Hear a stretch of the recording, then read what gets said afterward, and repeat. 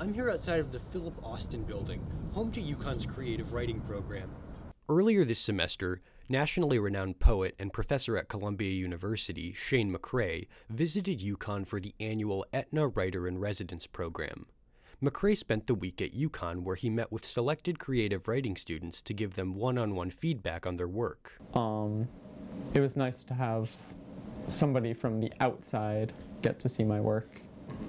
On Wednesday, McCrae read some of his poems from his most recent book, In the Language of My Captor, which won the 2018 Anisfield Wolf Book Award for Poetry and was a finalist for the National Book Award. Forgiven by the rainbow into life, the creatures climbed at dusk, now on their faces, that bore no sign of the life of the sun before. He also read an excerpt from his upcoming poetry book, The Gilded Auction Block, which will be released on February 12th of next year. Much of McCrae's new book was inspired by the 2016 election.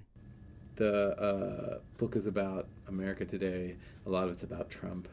Um, it was um, mostly written um, in, in response to Trump's election. McCrae was also kind enough to give advice to aspiring writers. I think you should read as much as you possibly can. Figure out ways to read more than you think. Don't be afraid of imitation when you're young, imitation is very important to figuring out who you are as a writer and also to figuring out how to do certain things. UConn's English department offers dozens of creative writing courses open to all majors.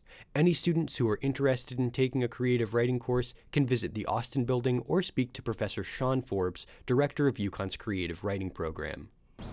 Reporting for UCTV News, Khaleel Rahman. Thank you.